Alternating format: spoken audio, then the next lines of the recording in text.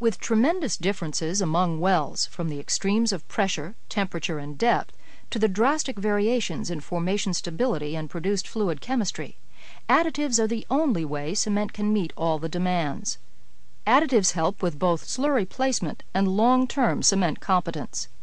Additives are commonly used to alter properties of the cement slurry, such as thickening time, density, rheology, fluid loss characteristics, and lost circulation tendencies, and modify properties of the set cement, such as compressive strength, strength retrogressions, strength loss with time, and expansion or contraction.